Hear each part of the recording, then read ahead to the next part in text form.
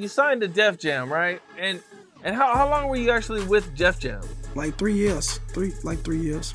I say like three years. How did you feel about that experience? You know, are you were you happy to be there, or, or Yeah. you think you would have been better independent? Nah, yeah, I was happy to be there. I was happy to be signed because it was something I never did before.